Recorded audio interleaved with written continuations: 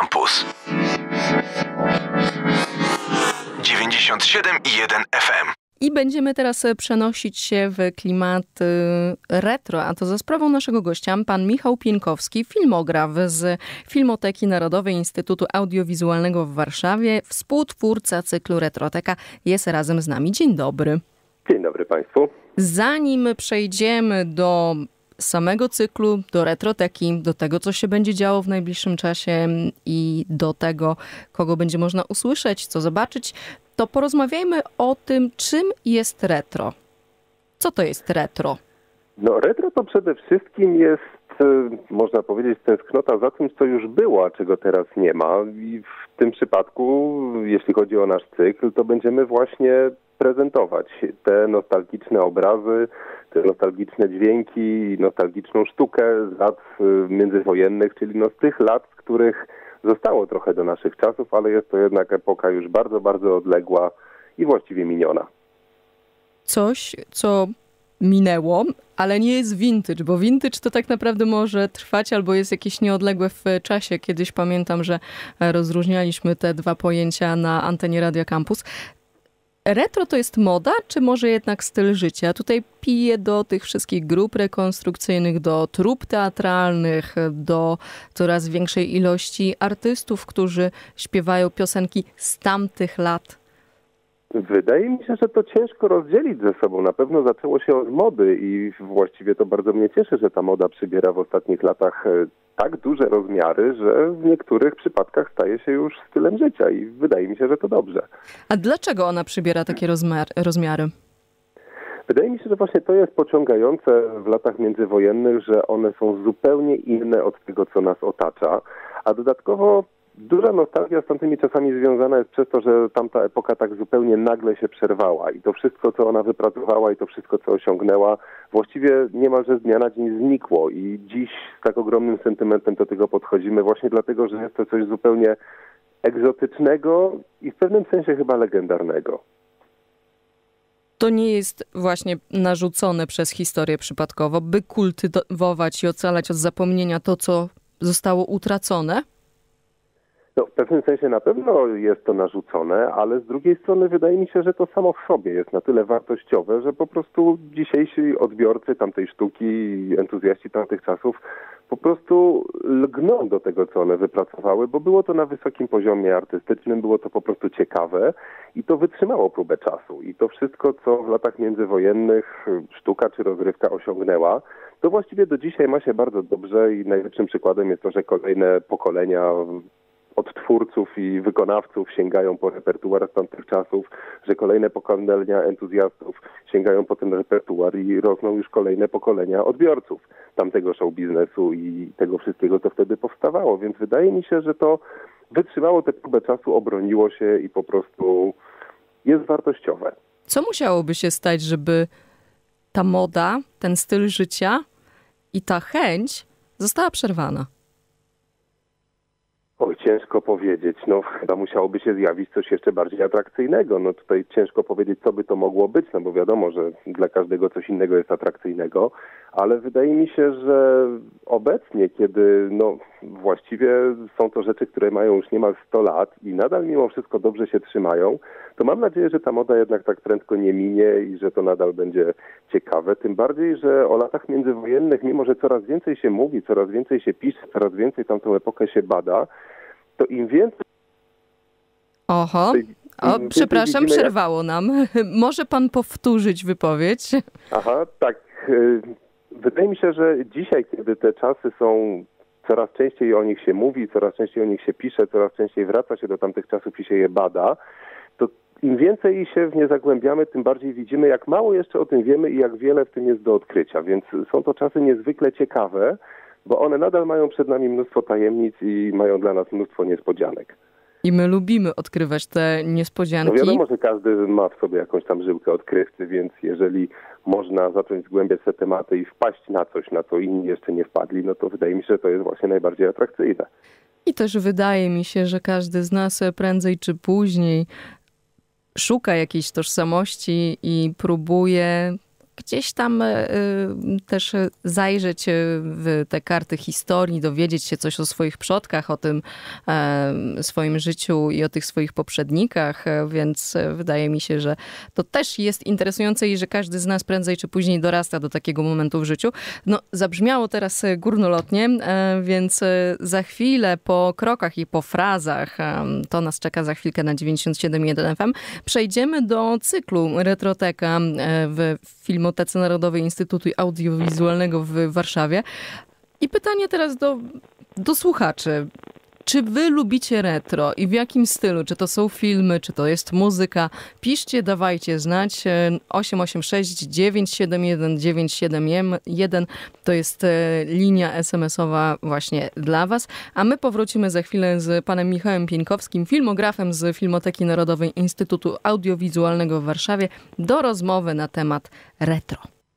Campus. Campus.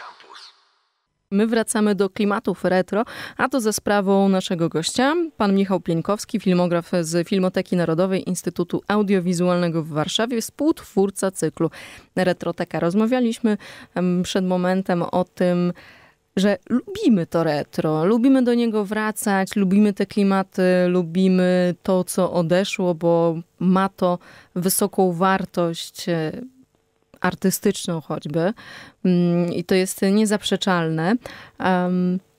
Klęska urodzaju, że będzie to aż cykl, tutaj pije do retroteki do tego, że to będzie cykl spotkań i że tego jest całkiem sporo. Będzie całkiem sporo, rzeczywiście. E, cykl Retroteka rusza już w najbliższy weekend, e, w sobotę. E, retroteka to będzie e, cykl spotkań, e, których jednym z głównych elementów będą oczywiście pokazy przedwojennych filmów, przede wszystkim filmów polskich, bo w tym cyklu chcemy się przede wszystkim skupić na międzywojennej Polsce, ale nie tylko, bo od czasu do czasu gościć w naszym cyklu będą także filmy zagraniczne. Także przede wszystkim będą to spotkania filmowe, ale także spotkania muzyczne, bo każdemu z tych spotkań będzie towarzyszył koncert wykonywany na żywo i za stronę muzyczną retroteki będzie odpowiadał Jan Młynar i to właśnie z nim e, współpracujemy, no ponieważ on jest jednym z tych artystów, który właśnie również bardzo dużą wagę przywiązuje do muzyki tamtej czas, tamtych czasów, bardzo dobrze tę muzykę czuje i dlatego właśnie jego zaprosili, zaprosiliśmy do tej współpracy. A właśnie, czym kierowaliście się przy doborze repertuaru, zapraszania prelegentów, e, artystów? Bo tego jest dość sporo i ta moda, ten styl życia opanowuje coraz e, większe rzesze ludzi i tak naprawdę no, ciężko jest chyba wybrać e, kilka filmów, które warto pokazać i to jest taki must have. No, rzeczywiście to nie było proste. Kłótnie były, tutaj... przepraszam, że się wcinam. No, oczywiście, no w takim przypadku to bez kłótni nie może się obyć, ale są to na szczęście kłótnie konstruktywne. Postanowiliśmy kierować się takim kryterium doboru, że każde z tych spotkań będzie poświęcone innemu zagadnieniu albo innej osobie, więc to już automatycznie będzie nam zawężało pewien krąg e, filmów czy repertuaru, który będziemy tam prezentować. E, bohaterem pierwszego spotkania będzie Tadeusz Dołęga-Mostowicz. To jest jeden z najpoczytniejszych pisarzy lat międzywojennych.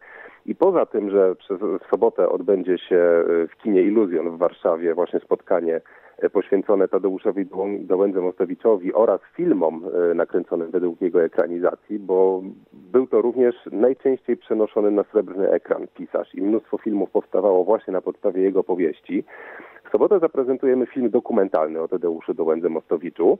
E, przed tym filmem prelekcję będzie miał Jarosław Górski, który jest biografem Tadeusza Dołęgi Mostowicza. Napisał o nim książkę niedawno, także opowie nam trochę o tej bardzo niezwykłej i bardzo ciekawej postaci. Potem zobaczymy dwa filmy. Dwa filmy z ostatnich lat przedwojennych, nakręcone właśnie według jego powieści. Będą to Złota Maska oraz Trzy Serca, a na koniec będzie koncert e, zespołu Jana Młynarskiego zagra dla nas duet y, Piotr Zabrocki i Jan Młynarski, a także warszawskie kombo taneczne i będzie to koncert tych ostatnich przedwojennych piosenek. A dlaczego będą to ostatnie filmy i ostatnie przedwojenne piosenki? Y, tutaj z kolei zdecydowaliśmy się, że dzień przed otwarciem retroteki, to znaczy już w najbliższy piątek, jutro, w naszej siedzibie przy ulicy Wałbrzyskiej odbędzie się taka dość obfita konferencja. Będzie tam kilka paneli dyskusyjnych i debat poświęconych właśnie II Rzeczpospolitej i temu, co zostało utracone. Jak to wszystko mogłoby wyglądać, jak mogłoby się rozwijać, gdyby nie wybuch II wojny światowej.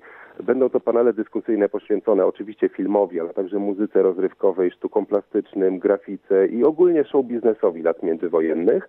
I tutaj właśnie skupiamy się na tych ostatnich e, dokonaniach II Rzeczpospolitej, na tym, co przerwała e, II wojna światowa i dlatego właśnie zarówno filmy, jak i piosenki wykonywane podczas tego koncertu to będą filmy z tej końcówki lat międzywojennych, z końca lat 30., czyli to, co już po wybuchu II wojny światowej e, Polacy mieli po prostu w pamięci i to, co zachowali z tych lat międzywojennych. Teraz nasunęła mi się myśl, że może w ramach kontynuacji tego cyklu albo porównania udałoby się zrobić e, cykl spotkań poświęcony czasom powojennym, tuż po. Bo one przecież bardzo mocno się odnoszą w pewnym, bardzo mocno, no według mnie bardzo mocno, do tego, co właśnie było przed wojną no, właściwie musiały się do tego odnosić, no bo to zawsze odnosimy się do czegoś, co już było, no to też jest jakiś pomysł, rozważymy, to możliwe, że któreś z kolejnych spotkań poświęcimy właśnie temu, co w latach powojennych zostało z tych e, przedwojennych czasów. Ile tych spotkań będzie w ramach retroteki? Na razie tego jeszcze nie wiemy. Póki co planujemy, żeby retroteka odbywała się przez cały najbliższy rok. Te spotkania będą się odbywały raz w miesiącu. No i tak jak wspomniałem, każde spotkanie będzie miało innego bohatera lub inny temat. Tym razem będzie to Tadeusz Dołęga-Mostowicz, natomiast październikowe spotkanie będzie poświęcone kinu niememu. O, to jest bardzo ciekawe i tutaj warte zapamiętania. Oczywiście, jak wszystkie wydarzenia związane z retroteką, oczywiście więcej informacji będzie można znaleźć na Państwa stronie internetowej. Zdecydowanie tak. Tam będzie dokładny program tych jutrzejszych piątkowych e, spotkań, debat i paneli dyskusyjnych.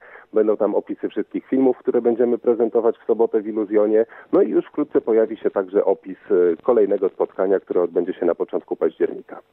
W takim razie, jeżeli ktoś jest zainteresowany klimatami retro i poczucia tamtego czasu, przeniesienie się w tamte czasy, to jak najbardziej może pójść na spotkanie z cyklu Retroteka, który będzie organizowany w Filmotece Narodowej Instytucie Audiowizualnym w Warszawie, a z nami był współtwórca Michał Pieńkowski, filmograf właśnie z Finy w Warszawie. Dziękuję bardzo za rozmowę. Bardzo dziękuję i serdecznie zapraszam. Słuchaj Radio Campus, gdziekolwiek jesteś. Wejdź na www.radiocampus.fm.